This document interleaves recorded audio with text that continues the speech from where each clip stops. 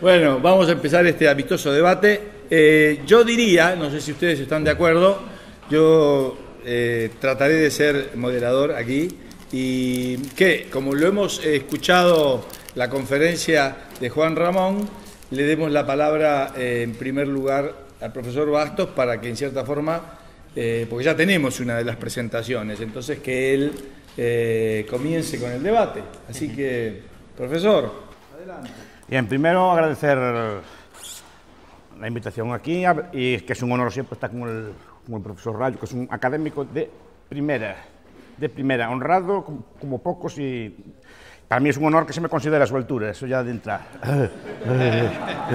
se me considera digno de debatir con él. Bien, y por supuesto el doctor Krause, que siempre le gusta moderar estas cosas. A ver, yo los argumentos del profesor Rayo eh, no los comparto.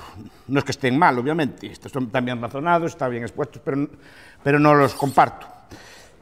Su intervención fue muy hegeliana, en el sentido de que solo lo racional es real, parece que solo lo que existe puede ser y, y, que no pueden existir otras cosas. además, y además dice que no hay una explicación académica solvente a esto. A ver, una por una sí.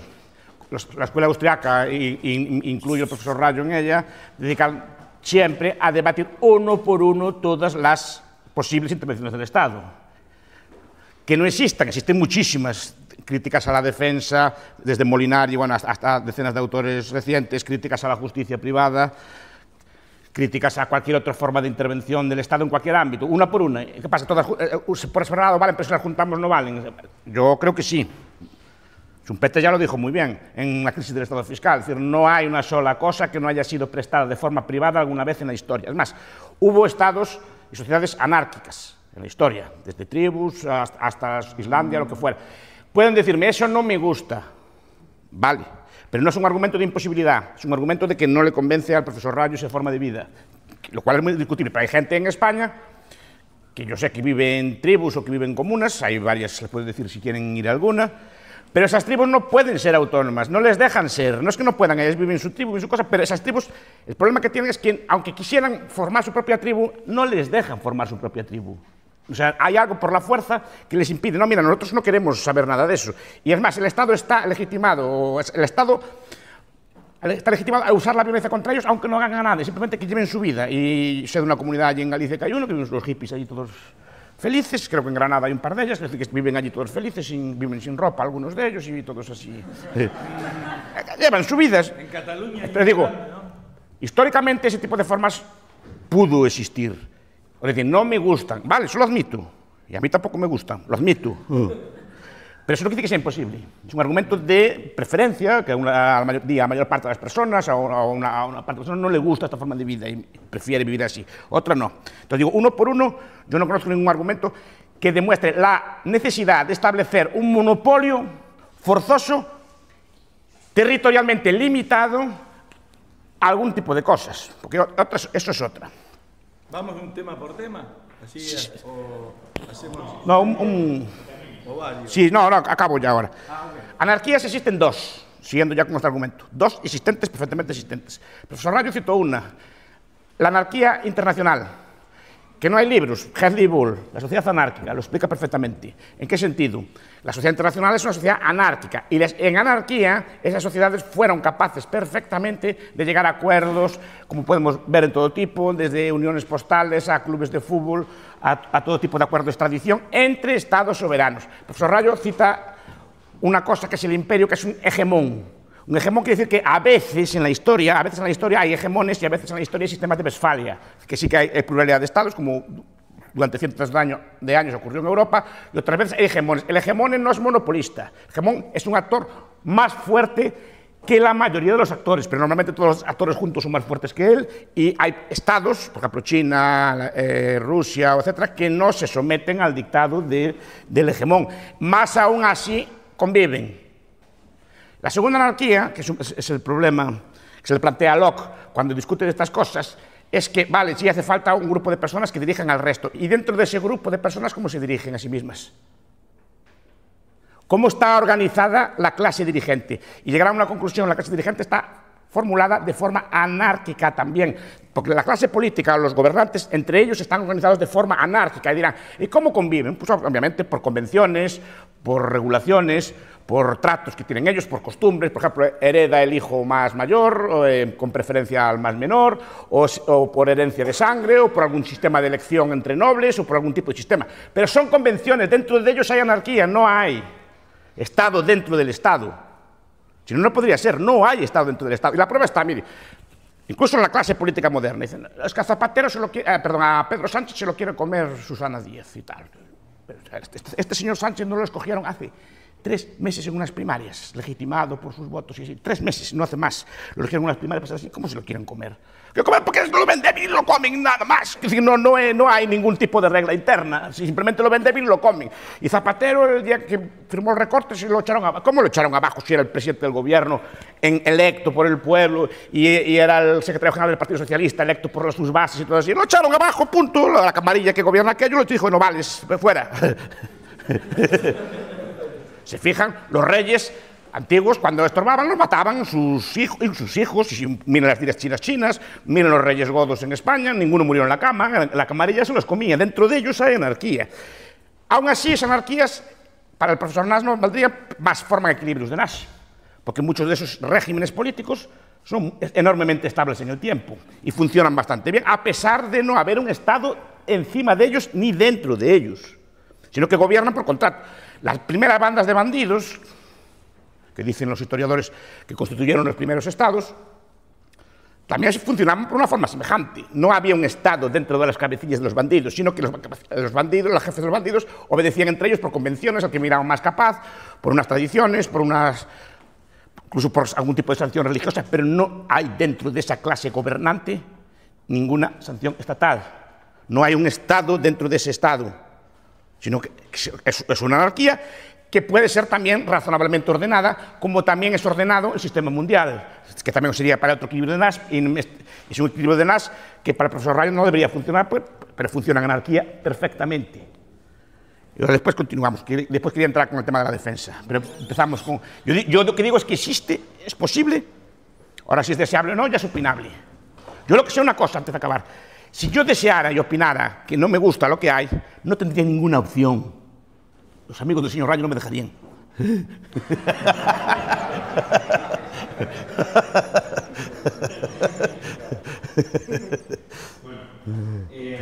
la defensa hablamos luego porque creo que el argumento de, Molinari no es, no trasladable a la defensa, pero lo hablamos luego.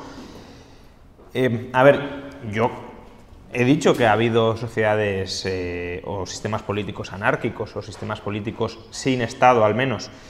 Em, sí, em, es decir, históricamente los ha habido, por tanto es posible. La cuestión es si es posible trasladarlos a un orden mucho más amplio.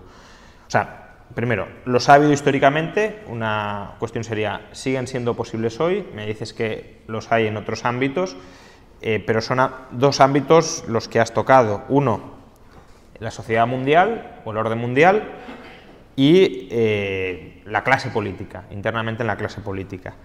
En cuanto a la sociedad mundial, em, el problema de... Es, verdad que podemos considerar que en parte hay una anarquía, aunque es parte de un imperio. bueno, Estados Unidos sí ejerce como... En parte, sí, sí, sí ejerce como hegemón y por tanto sí impone en parte su, su, poder militar y si utiliza su poder militar para disciplinar a los actores y a que no adopten estrategias que individualmente a ellos les podrían interesar eh, adoptar en un momento determinado. Es decir, hay un contrapeso muy poderoso a la hora de, de, establecer los incentivos de los agentes. Pero el problema de la sociedad mundial como em, paradigma para acabar con los estados es que la sociedad mundial todavía está muy poco integrada decir, hay integración, es verdad, pero es una integración bastante parcial. Entonces la cuestión es, conforme se vaya extendiendo la integración mundial, ¿habrá mecanismos consensuados para resolver disputas y ese consenso podrá materializarse al margen de los pactos que en todo caso realizan unas entidades políticas que se llaman estados? Es decir, ¿hay alternativas a que esos procesos de integración eh, jurídico-políticos los comanden, los dirijan los estados, y ese es un punto a demostrar. Yo no digo que no, de hecho la globalización en parte prueba a través de tribunales de arbitrajes privados que parte de esto se puede hacer, pero no tenemos nada de esto en absoluto en un ámbito tan crucial, tanto para el derecho internacional como para el interior, como es el derecho penal. En el derecho penal, que es cuando se ponen más en jaque las concepciones vitales últimas de una sociedad, ahí ni tenemos ejemplos de derecho penal privatizado hoy funcionales dentro, ni tenemos un derecho internacional penal privado. Y por tanto, sí hay un reto para saber si eso se puede conseguir. Y luego, el problema de la clase política, como ejemplo para una sociedad más amplia, es que la clase política en todo caso es un orden muy restringido, muy reducido. Eh, por tanto, claro que existe una... y además con unos intereses bastante eh, claros, les voy a rapiñar a los demás y tengo que colocar aquí al que mejor rapiñe, no me sirve cualquiera. Es decir, es casi una banda mafiosa militar. Bueno, casi no. Es. Entonces, eh, en la medida en que ese interés común, ese interés del grupo unifica los incentivos de los agentes, actúa como punto focal de coordinación, pero no está tan claro cuál es ese punto focal de coordinación en una sociedad donde hay concepciones muy plurales de bien común y donde unas concepciones de bien común pueden ser antagónicas con otras. Y por tanto la cuestión es, ¿resulta escalable eh, ese, ese, modelo de anarquía eh, interno a la clase política? Y ya por último, con respecto al último comentario, eh, sobre la existencia de, grupos potencialmente anarquistas que no les dejan ser anarquistas porque el Estado los barre. Si justamente ese es el punto de mi tesis, es decir, yo no defiendo que em, se impida a los grupos que se quieran autoorganizar que se pacíficamente, que se separen y se autoorganicen del Estado. La cuestión es, eh, ¿bajo qué condiciones eh, una sociedad amplia que tiene incentivos, en cierto modo, a parasitar a estos grupos, va a permitir que estos grupos se, secesionen de ellos. Es decir, cuando yo hablo de que es un equilibrio inestable, justamente me estoy refiriendo a que habrá incentivos a impedir que estos grupos se secesionen, no porque a mí me guste, no porque sean mis amigos. Un par de preguntas. Eh, no sé, sé poco de esto, pero cuando mencionabas lo del derecho penal internacional, que no existe, pero no hay tal cosa como o potencialmente como lo que menciona eh, el profesor, de Interpol, por ejemplo. No es una policía internacional, pero es como una red de colaboración policial entre distintas agencias a nivel mundial, ¿no? que uno podría imaginar que en un mundo anárquico puede haber ese tipo de redes colaborativas también. A eso me refería. Ahora, otra, una otra pregunta adicional era, era la siguiente. Se mencionó aquí justificación de un lado y del otro con un caso histórico, ¿no es cierto? Por ejemplo, hubo sociedades anárquicas y tú mencionabas hoy en la conferencia que el, Estado al final, un contraargumento contra eso podría decir, bueno, hubo sociedades anárquicas, pero el Estado se mostró superior históricamente, porque como tú has dicho, tiene un, un eh, equilibrio de Nash fuerte. Pero siguiendo esa misma lógica, lo que parece tener el equilibrio Nash más fuerte es el Estado benefactor. Y, no habría mucho para hacer entonces, porque estos llegaron para quedarse, ¿no es cierto? Este, porque parece muy, muy fuerte y estable eso, ¿no? A ver. A ver, adelante. Lo que quería decir es que a pesar de haber anarquía, el sistema penal, la Interpol, hay sistemas de extradición, la Unión Postal en su momento, que se crearon en anarquía. Heldi Bull explica todas las leyes que se crearon en ámbito de anarquía a través de la cooperación y reciprocidad entre los Estados. Que la anarquía no es prueba de desorden ni conflicto, sino que es prueba de que las personas se integran en, ambos ámbitos. En la clase política me refería que son capaces de estar integradas, por lo menos que sí. Que no es escalable. Vamos a ver, la clase política china es superior en número a la de muchos estados en población, más es capaz de escalarse o sea, ¿por qué vale para que los chinos sean anárquicos dentro de su clase política? En cambio, por ejemplo, los habitantes de Luxemburgo no. ¿Dónde, ¿Dónde, está la escalabilidad? También sería escalable entonces a Luxemburgo por número o ese tipo de cosas. ¿Y cuál es la escala correcta? Porque aquí hay un, debate. ¿Cuál es la escala correcta del Estado? ¿Y qué ventajas tiene una escala de Estado? Porque aquí hablamos de Estado así en genérico. Primero, el Estado hay que explicar lo que es. Y es un grupo de personas. O sea, cuando hablamos de, de ese ente que dilucida los debates, estamos diciendo que es rato el Montoro, Kim Il-sung, Kim Jong-il, Maduro, son los los entes capacitados para dilucidar, porque son los estados realmente existentes, o si quieres a Sarkozy o a Hollande o a Cameron o a Cristina. Digo, estoy hablando de lo que realmente existe, ya que somos tan hegelianos, seamos hegelianos para todo. Eso es lo que, es lo que realmente existe. Entonces, son es, es Cristina, Maduro, Kim Jong-il, los entes que deben dilucidar entre los derechos de lo que es agresión, lo que no es agresión y todo ese tipo de cosas. Pues no lo sé, me parece un poco extraño. ¿Qué características tienen esas personas? Pues yo no sé que sean más distintas. Yo, por suerte o desgracia, por mi trabajo y, por donde doy clases, y conozco varios de esos famosos legisladores y de esos famosos hombres sabios dilucidadores, no veo yo gran capacidad de dilucidar. Es decir, no veo yo, algunos son, no, no quiero decir que no sean listos, pero no, no le veo yo que sean mejores que el señor Rayo, o el señor Castro, o el señor Kraus, es decir, no los veo yo que sean mejores, que sepan más, dilucidar mejor. Son personas como, como otra cualquiera, a veces peores que otra cualquiera, eso lo decía Hayek. Pero digo que los veo, no veo yo esa capacidad. Entonces, esta es la idea que quería, quería plantear, que decir, que es, ¿Qué es eso? ¿Y, y, y por qué esas personas juntas, una por una son malas, pero juntas parece que tienen una capacidad de, de, de dilucidar mejor que las otras? Es lo que no acabo de, de ver yo. ¿Dónde está la, la, bondad de esas personas concretas que si las analizas están ahí? Entonces, el Estado para mí son unas personas organizadas con un imaginario, con unas ideas, eso sí, y la superior del Estado a efectos de guerra, como dice el profesor Kraus, no es superior del Estado. La superior del Estado básicamente es una creencia ideológica. Y, no hay Estado moderno, desde que hay Estado, porque antes las formas políticas antiguas no, no merecen el nombre de Estado, eran un poder de otro estilo, su fuerza es hegemónica. Si no, se cuidarían mucho, mucho de no obligar a, a los niños, a todos los niños, porque además es obligatorio para todos los niños que estudien todos lo mismo. Todos lo mismo. ¿Y qué estudian los niños? ¿Cuál es el currículum de un niño español? ¿Cuál es el currículum de un niño de cada país? Lo digo yo, historia del Estado, lengua del Estado, geografía del Estado, ética del Estado. Y la geografía, que ya la tengo criticada muchas veces, y después acompañada por asignaturas auxiliares como las matemáticas y, la, y esto que colaboran mucho también con el, con el sistema. Pero la, la principal de todas, la más manipuladora, es la geografía, con diferencia porque es la que nos da imagen mental de Estado. Si no, ¿por qué, si tanta superioridad ética tiene, tanta constitución, ¿por, por qué obligar a la gente a que estudiese? Porque crear todo un imaginario en todos los ámbitos. Si fija la mayor parte de, las, de los estudios universitarios, en los currículos, casi todos ellos tienen alguna parte estatista y en, en algunas todo ella es estatista. Y sobre todo en las carreras, digamos, que sí que tienen que ver con la, defensa de, o la propaganda o la, defensa ideológica de sus valores. Las carreras de ciencias sociales, por ejemplo. La economía, que estudiamos todos, los que estudian aquí economía, saben que la el 90% es economía del Estado. Lo llaman economía pública en todas sus vertientes. Intervencionismo, keynesianismo, todo, todo como gestiona el Estado, ciencias políticas, lo mismo, en sociología lo mismo, en la historia no digamos, porque la historia que se estudia casi toda es historia del Estado, no es historia todos con sus reyes y todas sus cosas así.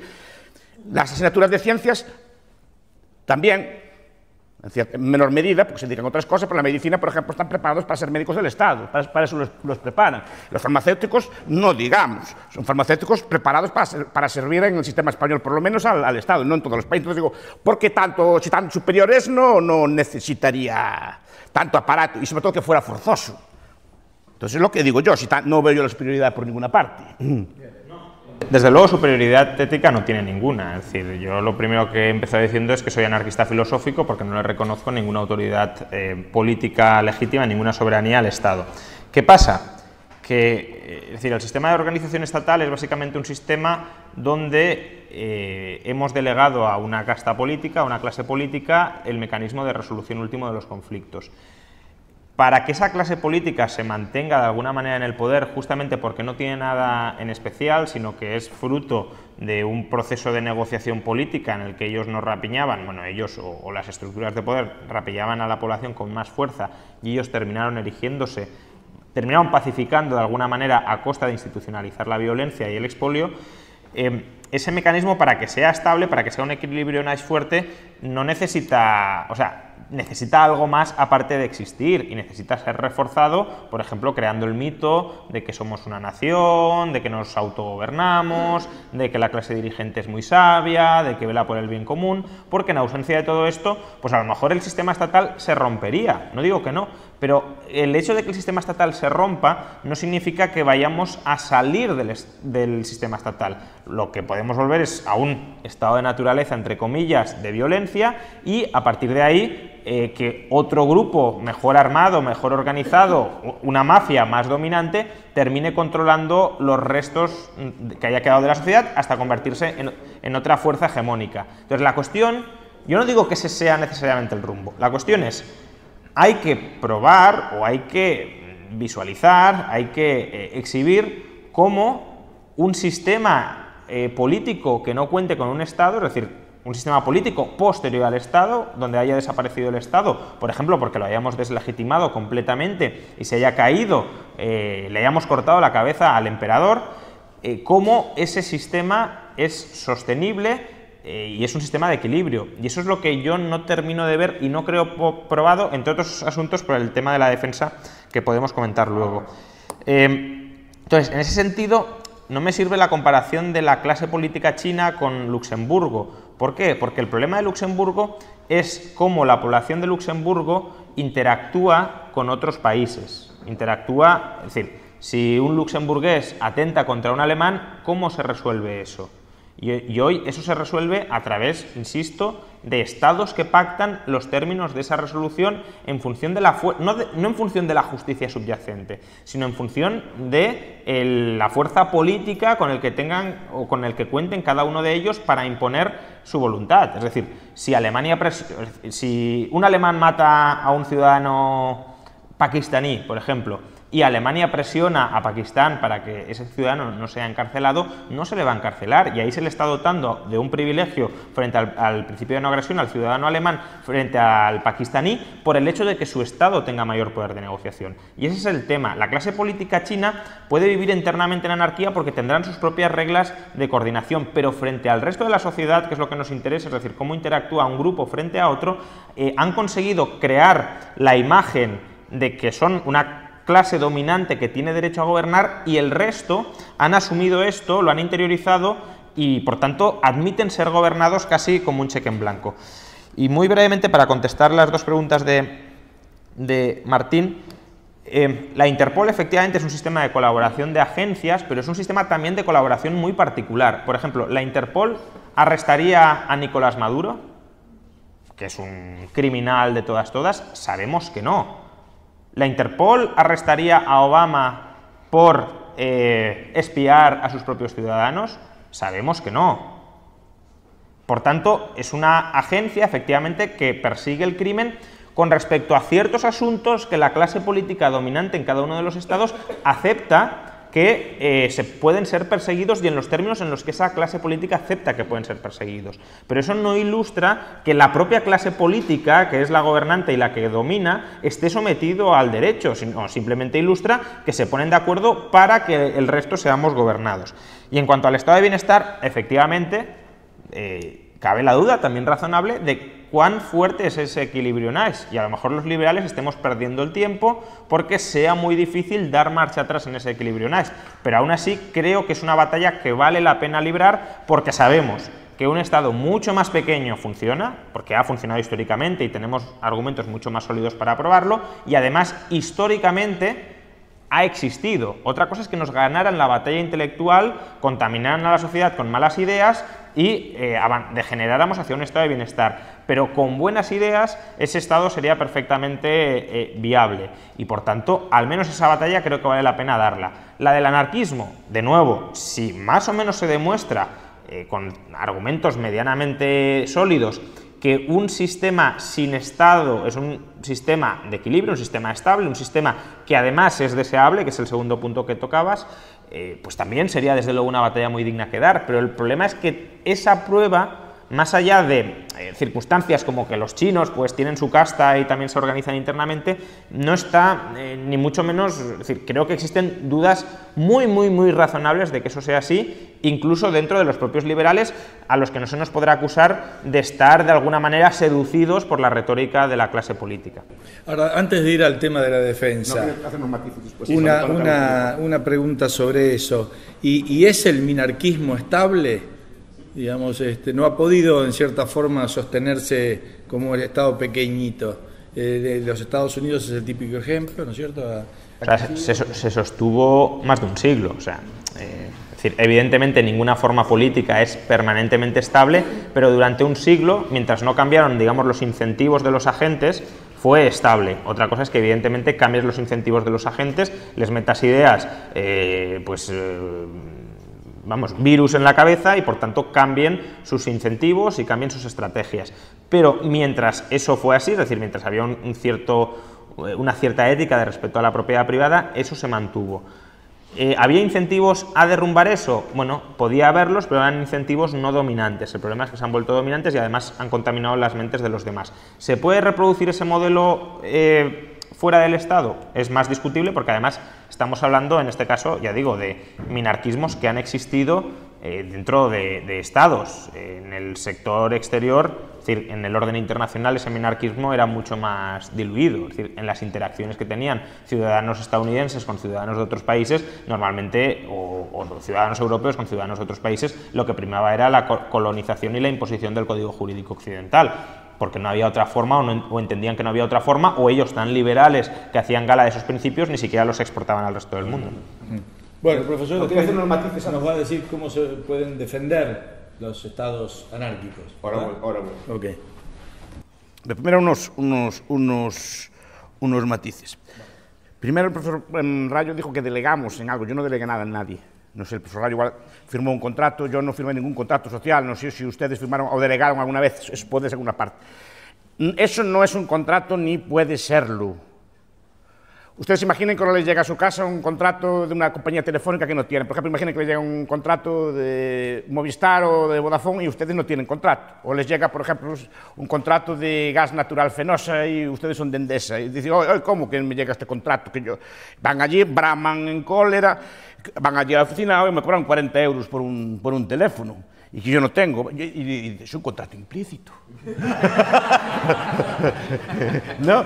Y que usted delegó no, yo no delegué nada, yo no firmé nada. Y, bramarían por un contrato de 40 euros. Y en cambio, un contrato que les, que les obliga a dar la mitad de lo que ganan, no 40 euros, la mitad de lo que ganan al, al gobierno, que les, que les obliga en determinados casos a dar su vida o su libertad por ello, que les permite en muchos casos perder uno o dos años de su vida en una cosa que llama servicio militar o en algún otro tipo de corbea. Eso no, eso es implícito, eso no hay que firmarlo.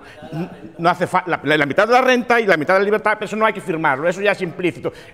Y, en, caso, y en caso de juicio, cualquier, cualquier mm, contrato en el que supuestamente se delega, se fijan las partes y se fija el juez. Cuando yo pacto con el Estado, ¿quién, resuelve el contrato? Bien, eso es el primero. Después, claro, aparte que rapiñan. Antes rapiñaban menos que ahora precisamente porque era más violento y la gente se defendía. Una vez que consiguen... La, a ver, ningún pastor quiere que sus ovejas se peleen. El pastor le interesa tener sus ovejas gordas y obedientes, porque si tiene que andar a palos con ellas y a domarlas, o los caballos, o lo que sea, pues pierde dinero. Cuanto más domadas estén, mejor. Le interesa sus ovejas gordas, por eso le interesa que haya paz. Pero cuanto más, más paz haya en el país, más gordas están las ovejas, mejor, más lana tienen más para, para esquilar. Las, las, ovejas salvajes son malas de, de, pillar. Entonces, se rapiña más ahora precisamente porque la población es más dócil, porque se consiguió, entre, entre otras ideas, la idea de que el Estado es inevitable. Esto me recuerda a aquellos debates que había de, de cuando yo era joven, cuando digamos, la religión estaba más extendida, yo soy católico, yo sé que es otro debate, ¿no? Pero, pero la idea era ¿Cómo vas a decir que Dios no existe? ¿Estás loco? Una cosa por el estilo. ¿Cómo puede existir un mundo sin Dios? O sea, el, el, debate que estamos planteando aquí es el mismo que planteaban en la Edad Media un ateo que se le ocurría decir que Dios no existía. Exactamente el mismo. ¿Cómo no va a existir? Entonces, ¿quién inventó esto, esto y lo otro? ¿Y cómo funcionaría esto y lo otro? Es decir, exactamente el mismo argumento. Solo que lo ha trasladado al ámbito del Estado. Ahora, el loco eres el, el, que, no el que desafía a Dios, sino el que desafía al, al Estado. Entonces, el loco... Como, como, yo recuerdo siempre cuando fue la invasión de Irak. Entonces, en Irak la comida la daban con cupones. Las daba el Estado con cupones y le daba los zapatos con cupones. Y yo recuerdo entrevistas a la gente, ¿y ahora cómo vamos a hacer para comer? Que, no hay Estado que nos da los cupones, que nos da los zapatos. Ya van como nosotros, van a la tienda, trabajan y compran, ¿no? Pero la gente no concibe, y ahora entramos en el tema de defensa, este tipo de, este tipo de, de cosas. Vamos a ver. Vamos a ver. Ah, bueno, aparte de otra cosa, estado de naturaleza supuestamente es salvaje. Un estado de naturaleza, la gente salvaje, en cambio, es, lo suficientemente sensata, tiene lo suficientemente cultura como para firmar un contrato. Es una cosa muy extraña ese estado de naturaleza. O sea, porque para firmar un contrato, para firmar un contrato, requieres de unas habilidades sociales, de unos conocimientos, de un capital social, que diga el señor Capella, de previo, de, de respetar contratos, de cumplir, etcétera, que tiene que ser previos a ese contrato. Si no, como, entonces no serían tan salvajes aquella gente de antes. Digo yo, no, no, no veo yo. Y después eso, siempre se nos pinta un mundo sin Estado, el mundo de Mad Max, o la carretera de Cormac McCarthy. Nos, pintan así una cosa, así con coches locos, la, matando así. gente. Que es el imaginario, que me- es el mismo cuento que me cuentan también del infierno, que eran así, que iba a también a arder todas las almas allí, pues nos pintan también en la literatura, en el arte, nos pintan un mundo sin Estado como un mundo, un mundo salvaje, no un mundo evolucionado, no un, no un mundo de eBays, bitcoins y cosas por el estilo, sino que nos pintan un mundo. Pero además hay otro factor, siempre se piensa que va a ser una guerra de tribus. Vamos a ver, hay conocimientos, no sé, se puede discutir, pero el conocimiento es difícilmente reversible. Es decir, buena parte de nuestro capital de conocimiento ya lo tenemos. Y si llegamos a una sociedad sin Estado será porque buena parte de la sociedad se ha convencido de que eso no puede funcionar bien. O sea, está en la mente de la gente una sociedad cooperativa, pacífica y de libre cambio. O sea, estará en nuestra mente. Entonces, si eso se elimina, la, la gente será igual. Porque yo soy de la teoría de que quien mantiene la paz y el orden no es el Estado, es la gente. No es el Estado. El Estado no tiene capacidad ninguna de mantener el orden, como yo explicó ayer Ignacio Medina, diciendo que en una cárcel, ni siquiera en una cárcel, es capaz de mantener el orden. Y si no, fíjese, y en las mismas cárceles no es lo mismo una cárcel en un país de estos que se mira así, de, de- talibanes y gente así por el estilo, que una cárcel suiza. Parece que es más ordenada la gente en un sitio que otro, porque es la gente la que es ordenada, es la gente la que está civilizada, la gente, la gente que vive en una sociedad anárquica sería la gente que está aquí. Y la gente moderna es razonablemente civilizada, no son los tiempos de las tribus, de estas hordas, de todo tipo de cosas. O sea, es difícil esa reversión, entre otras cosas porque tenemos conocimiento acumulado. Y ahora estamos acostumbrados a hablar, comerciar, a intercambiar con todo el mundo. Y estamos acostumbrados a la paz. Quien trae la paz y el orden es el comercio. Las virtudes del comercio, las virtudes de ganar enemigos, amigos, como decía el profesor Castro ayer, de hacer, de hacer amigo del enemigo. Y eso es lo que sería difícil revertir. Que, que la gente no, pensaríamos que seríamos como una tribu, que íbamos con porras a darle a la gente en la cabeza. No, ya podríamos hacerlo. Aquí no lo hacemos. Aquí hay hombres y mujeres juntos, podemos ir como gorilas a, a violar a las mujeres. No. ¿Por qué no lo hacemos? Porque tenemos ya interiorizado una serie de valores. Pero igual tenemos interiorizado esa serie de valores, fruto de la religión, de la cultura y una cosa por el estilo. Es, esa interiorización es la que nos llevaría a que no fuéramos a la guerra. Quieren que entre en la, la defensa ahora o quiere contestar el profesor Rayo. Bien, a ver, eh, que no ha existido nunca un contrato social y que todo eso es un cuento y una razón. Y una, y una- es que la delegación no tiene por qué ser explícita ni tiene por qué ser, ni tiene por qué ser voluntaria. Es decir, eh, que todo eso no ha existido nunca y que es una historia para racionalizar a posteriori, eso es evidente y yo lo compro, precisamente por eso, insisto, eh, creo en la anarquía filosófica porque no es una buena justificación de por qué el Estado tiene derecho a gobernar. Eh, Dicho esto, sí hay gente que delega, es decir, hay gente que está muy convencida de que el Estado tiene derecho a gobernar y está de acuerdo con ello, por tanto, eh, se trata de una delegación. Y aunque nosotros sabemos que no hemos delegado voluntariamente, si mañana nos atracan o nos roban, el código y los procedimientos con los que resolvemos y protegemos nuestros derechos sí son el código y el procedimiento de ese Estado. Por tanto, sí utilizamos los canales que ha puesto el Estado a nuestra disposición. A eso me refería con delegar, que hoy la forma que tenemos de resolver los conflictos pasa por los cauces que ha habilitado el Estado. Eso no significa que con otros cauces no se pudieran resolver. Lo que, insisto, digo, es que hay que probar cómo esos otros cauces se pueden estructurar. Eh, La idea de, de oponerse al... el- es decir, decir que el Estado no puede existir es como decir que Dios no existe. Em, Sí, en- equivalente en cuanto a, a la reacción social. Pero es que eh, en- cuando la, la imagen de Dios era omnipresente es porque ofrecía prácticamente la única explicación existente a muchos fenómenos que no entendíamos. Cuando pudimos empezar a decir en serio, o otra gente empezó a decir en serio que Dios no existe, es cuando contamos con un conocimiento científico más aproximado de cómo puede haber surgido la sociedad el orden y las especies sin Dios. Es decir, tuvo que llegar un señor que se llama Darwin para em, proporcionarnos ese conocimiento ya más formalizado y más científico. Y yo lo que estoy diciendo, por traducirlo quizá en un lenguaje más coloquial, es que necesitamos un Darwin del anarquismo político, y no está. Y en la medida en que no está, podemos decir, el Estado no existe, como decía mm, Dios no existe, pero hasta que no haya una explicación sólida alternativa a eso, mm, va a ser muy difícil que estas ideas... Bueno, vam- de- de- de- de- debatimos, debatimos ahora sobre defensa, que yo creo que es un punto, un punto crucial. Y luego, el estado de naturaleza, eh, obviamente es, es ridículo pensar que del estado de naturaleza se sale porque se firma un contrato porque ya deberían ser civilizados. Yo creo que ese es un argumento eh, naif del estado de naturaleza, que obviamente yo no defiendo. Pero el estado de naturaleza sí lo puedes ver como un proceso de ajuste mutuo. Es decir, tú y yo nos matamos y dejamos de matarnos no porque nos sentemos a negociar y firmemos un armisticio, sino simplemente porque en, lugar de eh, estar todos los días atacándote, un día me empiezas a dar un tributo y yo regularizo esa situación y dejo de atracarte. Y ese es no un contrato, porque no es un contrato voluntario, es un contrato de agresión, efectivamente, pero si, es una, si no lo quieres llamar contrato, llámalo pacto o llámalo regla, que es el fruto de una extorsión. De acuerdo, pero es una extorsión que conduce a un acuerdo de ajuste mutuo.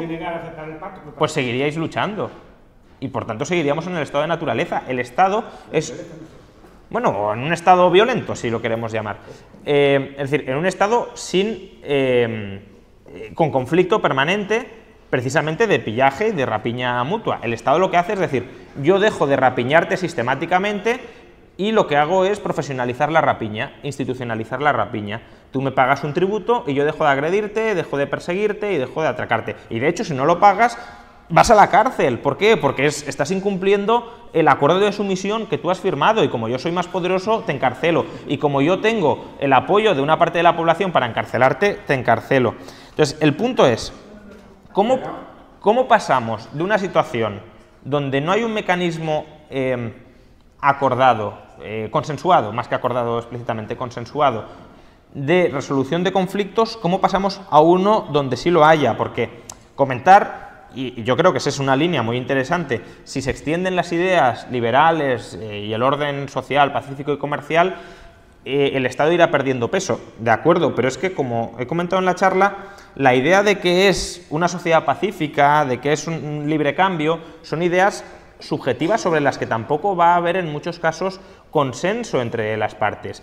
Eh, puede haber gente que considere mm, incívico que, una persona esté fumando porros, por ejemplo, porque está básicamente perjudicando su vida y el, y el futuro de las generaciones futuras. Y para todo lo otro puede ser perfectamente pacífica, pero para eso no. O los términos de cuándo se adquiere o no la propiedad. Y para todo eso, van, en esos ámbitos van a surgir conflictos y la cuestión es quién y cómo resuelve esos conflictos. Es decir, cuál es la autoridad a la que se le encarga y que vela por la resolución de esos conflictos.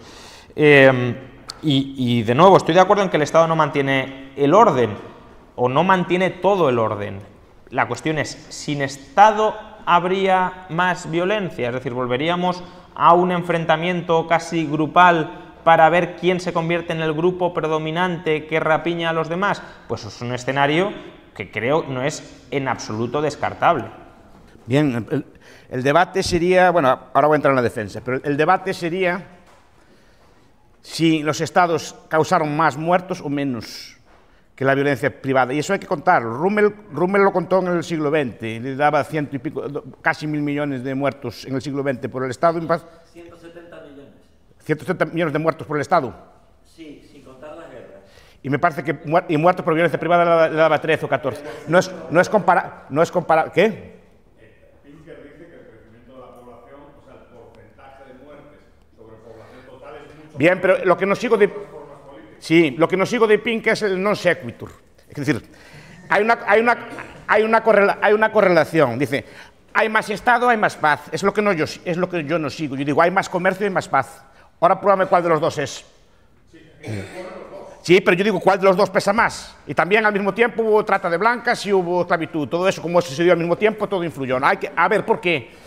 ¿Qué, ¿Qué trajo el Estado de más paz, aparte de guerras masivas y cosas por el estilo? No, no acabo de ver yo la mayor paz, no sé si... No, no sé contar, bueno, no, no, es comparable porque no es, es comparable con las cifras de, de muertos. No, no, no, no la, de usted. Digo, digo, que no hay comparaciones. Digo que Rummel las contó en el siglo XX. No sé si son correctas o no. Además, no son. La, Ahí también se podría decir, pero es un. Sí, sí, no, no, no, no. Estoy diciendo que no- digo que hay que probar, y eso tampoco lo vi probado científicamente, ya que le gustan todas las pruebas, de, de que sea el Estado, de, de que sea el Estado el que trajo esa paz y ese orden. Yo digo que no. Tú dices que sí, ahora, ¿dónde está la prueba?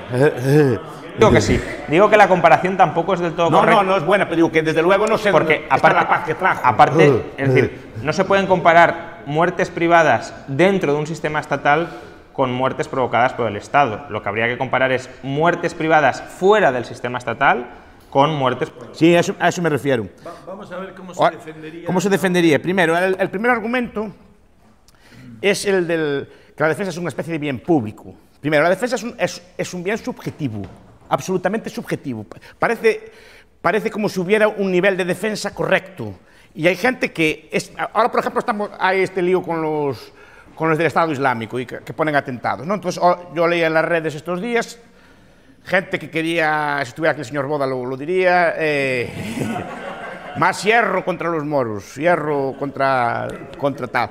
Yo leo a gente de Podemos que es la paz y no sé qué, no sé cuánto. Bueno, o sea, estamos deba- debatiendo ambos bandos sobre la cual debe ser la cantidad de defensa que tenemos que suministrar. Y, y no veo que haya un acuerdo. Ambos quieren, uno quiere invadir Siria, bombardearla y arrasar con todo aquello, otro quiere pues, paz, diálogo, armas. O sea, para unos hay demasiada provisión de defensas, para otros hay demasiada poca provisión de defensa. No es un bien público en ese sentido, en la cantidad. Después no cumple el sentido de bien público que en el sentido de que no todos los españoles están igual de defendidos ni ninguna persona del mundo, porque la, defensa, sea cual sea esta, es un bien geográfico.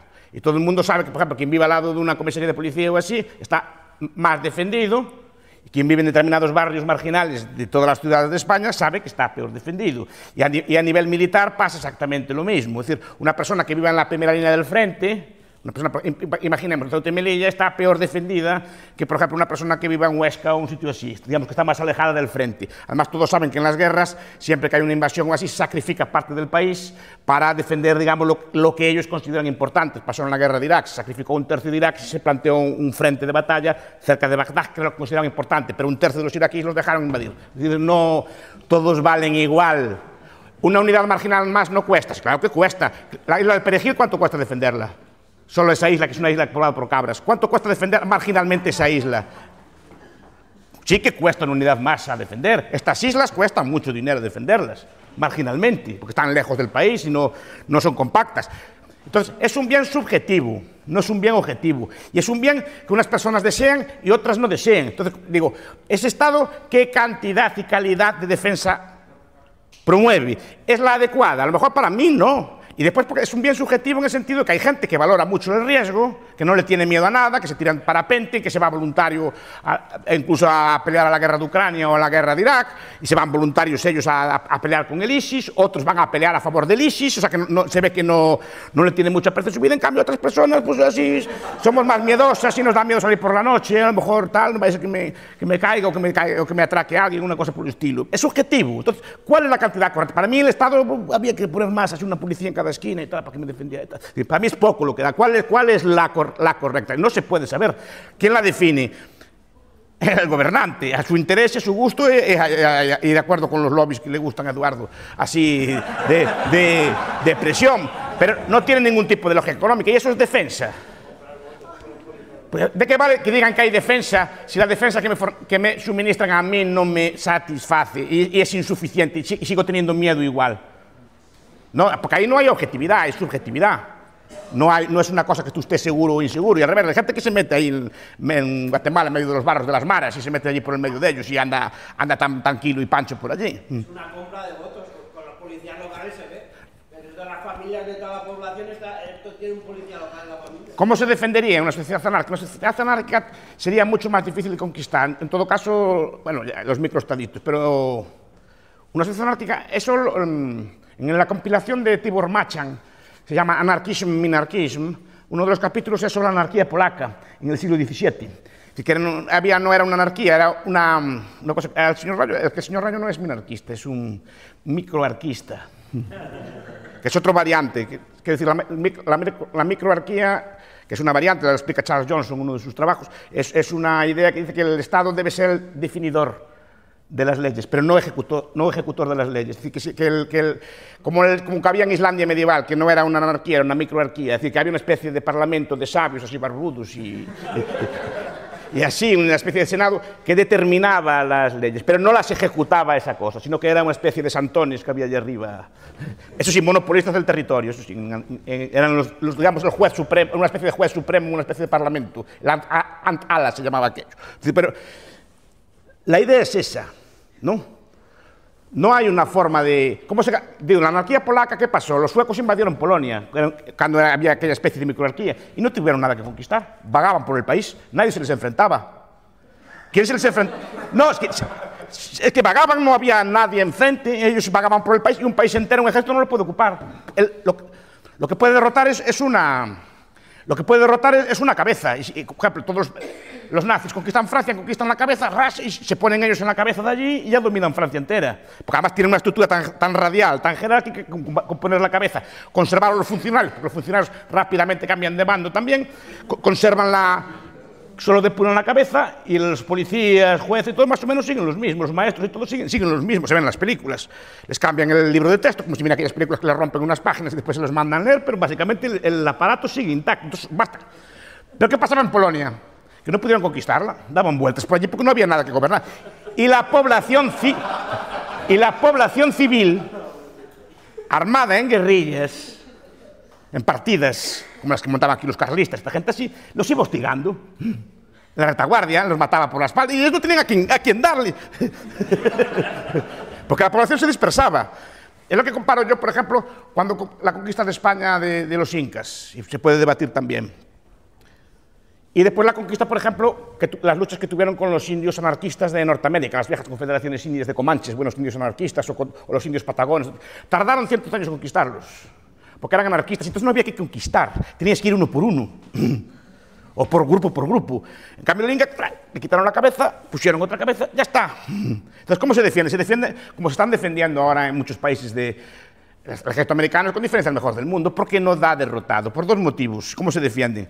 Uno, como explica Lieberman en- en- o Brooks, que son- estudian estas cosas, haciendo, no ya sé que pierdan las batallas, el poder de fuego es muy superior, sino que haciendo que el coste no les compense. O sea, haciéndole gastar tanto dinero que aún todo lo que puedan saquear de allí en petróleo así, no les compense y se retiren, que fue lo que pasó en Vietnam. Vietnam, que era un país muy pobre, etcétera, echó a Estados Unidos del dólar, perdón, de lo- del patrón oro. Básicamente fue la guerra de Vietnam, la financiación con deuda impagable, lo que echó a Estados Unidos del patrón oro. Y ese fue unos costes y por eso tuvieron que retirarse, no pudieron más. Entonces, por un lado eso, y por otro lado, lo que explican los teóricos modernos de la guerra, las armas modernas.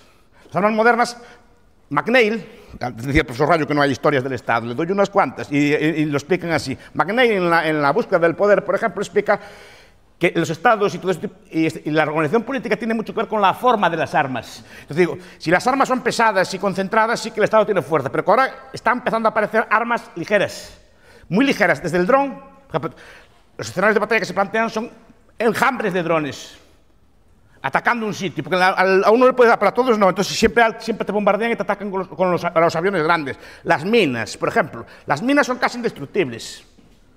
Las minas modernas te, te- te- impiden, te bloquean, o, o- tanto de tierra como tal, que te, hacen mucho daño. Todo el armamento ligero, Kalashnikov y cosas por el estilo, están incrementando su potencia en relación a las otras. De hecho, ¿qué pasa, por ejemplo, con, y ahí está, entramos ya en el, en el último punto, lo que dice Van Creveld. Van Creveld es un historiador militar israelí, es, un- es muy bastante libertario. Eh, un libro que se llama Rise and the King of the State y sobre todo Transformation of War. Y lo que explica es que el Estado moderno va a desaparecer porque no es capaz de atender las guerras modernas.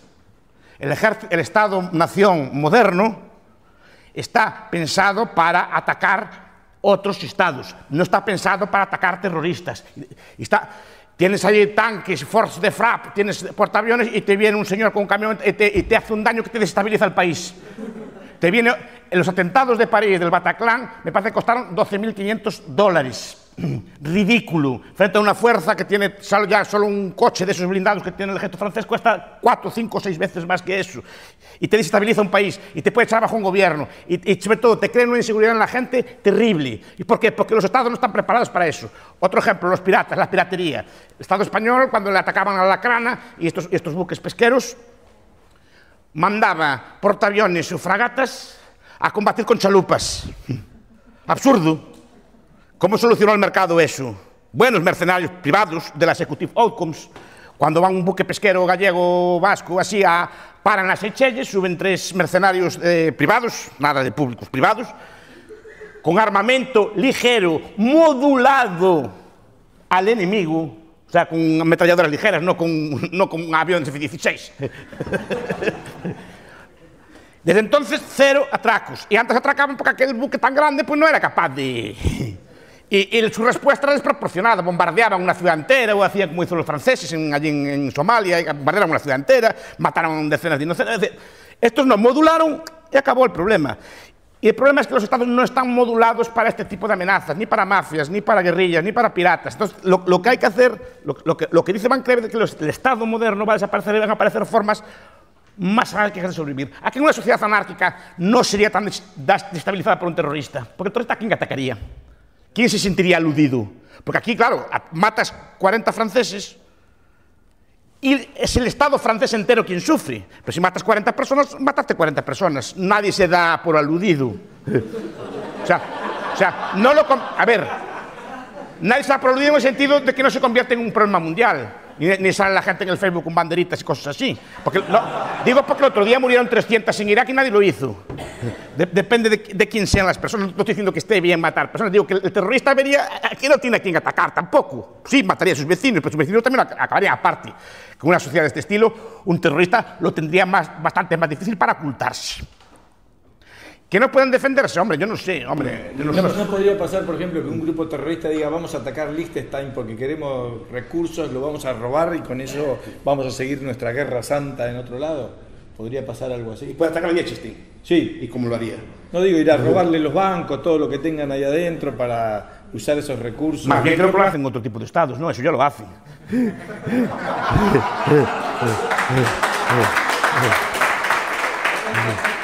Creo que quien ataca no es el Liechtenstein, ataca en otro tipo de, de país. Porque el Liechtenstein, vale, pues sí, le atacas, pero ¿qué daño haces? Es decir, que, aparte, ¿qué enemigos Liechtenstein? Aparte, ya no quiero entrar en cosas de política exterior, ¿no? Pero, pero no sé si me estoy explicando. Una sociedad así des- descentralizada, anárquica, ¿dónde se metería el terrorista? En la casa de alguien tendría que estar, ¿no? Digo yo, no, no podría andar las ciudades ferales modernas. Las ciudades estatales son ciudades ferales, ciudades que incluso el propio Estado no controla. Grandes ciudades, Karachi, por ejemplo, o la ciudad de Guatemala, en partes, el Estado no es capaz de gobernar. Río de Janeiro, por ejemplo, la- no, son ciudades que funcionan de facto sin Estado. El Estado no es capaz de penetrar en ellas y tienen sus propias leyes y normas. Hay un trabajo, papers muy buenos sobre cómo funcionan las favelas en Río de Janeiro. Y sin usar muerte, ¿eh? ¿Cómo, sancionan ellos los crímenes sin, sin Estado ninguno? Vale, eh, vamos primero con la idea de que la defensa eh, es un bien subjetivo. Es verdad que no todo el mundo quiere igual provisión de, de defensa y que existen conflictos. Por ejemplo, la guerra de Irak, pues tenías a multitud de personas en la calle protestando por el hecho de que nos embarcáramos en la guerra de Irak y había otra parte, probablemente minoritaria, que sí que quería ir a la guerra de Irak. ¿Qué pasa? Que ese conflicto, porque es un conflicto sobre eh, bueno, eh, qué hacemos con nuestras vidas o con nuestras haciendas, eh, tenemos interiorizado que se resuelve a través del mecanismo democrático. Entonces, que yo no digo que eso sea legítimo. Yo lo que digo es que la mayor parte de la gente deja de protestar cuando eh, democráticamente se da una respuesta a esto. Si, si Aznar hubiese convocado la guerra de Irak y hubiese eh, convocado un referéndum para validar si se iba o no, mucha gente que se oponía a la guerra, si hubiese salido que sí en el referéndum, se habría callado y lo habría aceptado.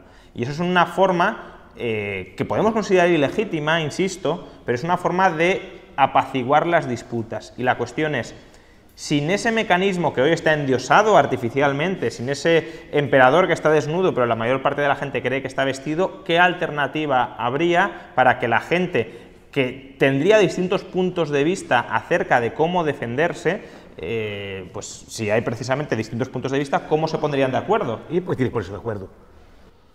Unos demandan mucha protección, otros no demandan ninguna. Yo, por ejemplo, yo vivo en un sitio así semi-rural, allí no necesito, pues no va muchos ladrones ni bandidos por ahí. De hecho, puedo dejar la, la casa casi abierta o cosas por el estilo, que no, no es un sitio que yo considere, yo considere peligroso. Es decir, entonces, yo demandaré menos seguridad. Si viviera en otro tipo de barrio o tuviera cosas más, más de valor en mi casa, Claro, tendría, pero- tendría otro tipo Pero de, si, de si demandas. si entra, si entra un ejército a conquistar no solo eh, una gran ciudad, sino también tu pueblo, es evidente que ahí existe algún tipo de un interés. ejército de otro Estado, o sea que el Estado es una Bueno, realidad del Estado, ¿no? Puede serlo, puede serlo, claro que O sí. sea, que el, el Estado existe porque hay otro Estado. Es un- Puede serlo. Un argumento circular. No, es un, es un, es un equilibrio nice perverso, pero puede ser un equilibrio nice eh, que, que sea fuerte. Es decir, si, si nadie tiene estados, los incentivos a que alguien tenga estados son muy fuertes, porque se va a arrasar con todo. Y entonces el resto no tendrán otro remedio que organizarse vía Estado. El punto es cómo conseguimos mantener un equilibrio sin estados cuando en ese caso la estrategia óptima es desviarse y crear un Estado para poder rapiñar a los demás. Entonces, efectivamente puede venir un ejército de otro Estado y ahí sí que hay un interés conjunto entre el, el de la ciudad que a lo mejor quiere mucha necesidad de defensa y tú que estás en un pueblo que quieres poca necesidad de defensa, pero la amenaza es conjunta y por tanto entiendo, por lógica eh, y economías de escala, que la provisión de defensa debería ser conjunta. O no, vale. Pero, pero si, si no, si no lo es, normalmente en defensa quien tiene más número, quien está más unido, quien tiene más, más fuerza, tiende a ganar. Puede ser que no en algunos casos, pero lo normal es que dos tengan más poder que uno y por tanto en este caso que te... que Digo te no, porque la última guerra que tuvo España con otro Estado, si no recuerdo mal, fue, bueno, aparte de la guerra de, de Cuba, fue la última invasión que sufrió España fue la guerra con los franceses. Y ahí muchos de la PEPA y estos de 1812, y liberales y gente así de esta minarquista y gente de esta, pues parece que estaba con el bando del agresor. Le gustaban, le llamaban afrancesados y querían que vinieran los franceses aquí a, a gobernar. Digo que, que no hay acuerdo sobre cuál, qué es lo bueno para España. Ellos pensaban que lo bueno para España es que llegaran los afrancesados. Entonces, no, no hay un acuerdo ni siquiera con respecto al enemigo. Hay gente que incluso preferiría que te invadieran los franceses. Aún veo por ahí escritos, a veces, ojalá nos hubieran ganado los franceses y que hubieran aquí muchas guillotinas. Imagínate, y- imagina- imagínate que ahí eh, los afrancesados tienen su Estado y los no afrancesados tienen eh, una comunidad anarquista. ¿Qué te garantiza que los franceses aliados con los españoles no afrancesados no invadan esa comunidad si ellos querían integraros de alguna manera forzosamente Ahí a está la esa? clave, qué es lo que invaden y qué es lo que conquistan. Porque eh, para invadir un territorio muy grande es muy complicado, porque tienes que invadir todo, es- expandirte por toda la tierra, no es conquistar una ciudad, tienes que expandirte por toda la tierra y, eh, y ahí al expandirte te haces muy vulnerable. Ese punto que también lo quiero tratar. Muy vulnerable. Eso lo- además lo dice, el argumento es de un minarquista, no es de un anarquista. Sí, sí, sí, sí, en parte es así, pero ahora lo voy a, a comentar. Eh, y el segundo punto de la defensa como bien subjetivo es que no todos están igual de, de defendidos, lo cual es cierto. Y existe un coste marginal, puede existir más allá de un umbral, un coste mar- marginal positivo por incorporar nuevas unidades de provisión de defensa. Por ejemplo, si eh, España dice dejo de defender Perejil, el coste de la defensa desde luego eh, se reduce. Eh, pero es que eso con respecto a la defensa de Perejil, ahí no estamos hablando de un bien público, porque no es un bien que se disfrute conjuntamente y que sea provisto eh, A ver, el bien conjuntamente. público no son dos cosas. Sí, que se disfrute conjuntamente y que se provea Y, y conjuntamente. que no se puede excluir a Sí, nadie. exacto. ¿eh? Por eso, que con respecto a la isla de Perejil, Y una unidad marginal más que no cuesta. claro. Exacto, Y claro, cuesta. claro, pero con respecto a la isla de Perejil sí cuesta. Por tanto, la defensa con respecto a la isla de Perejil no es un bien público. Ahora, eh, ¿es posible defender Madrid de un ataque sin defender todo Madrid o buena parte de Madrid? Pues es muy complicado. Entonces, en ese caso, España se podría plantear, ¿yo quiero defender la isla de Perejil, sí o no?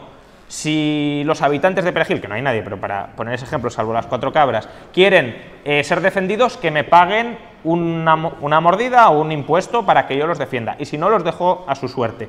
Pero en otras unidades dentro del territorio no es tan sencillo. Y hay unidades territoriales que sí que tiene sentido defenderlas conjuntamente, incluso desde un punto de vista ¿Pero a militar. qué le llamas tu conjunto?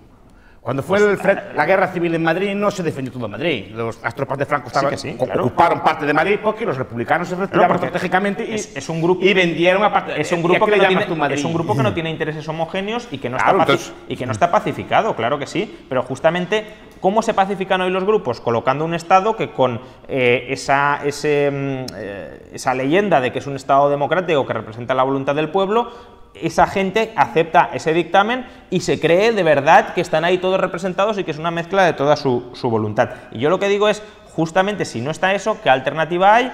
Y ahí podrías tener conflictos como el que citas de Madrid, que unos quieran una cosa, otros Pero otras. que no estén- quiero y un se- se conjunto. ma- Si la sociedad anárquica se defendería a sí misma. Sí, hombre, pero. Y después, que- que- que- que- ¿Cómo? Con guerrillas, con, con armamento ligero, como hacen, como hacen los suizos, con, la, con la población armada, básicamente, que esa es la, es la mejor forma de defensa que hay. Con armas ligeras y entrenados, es la mejor forma Depende de para qué.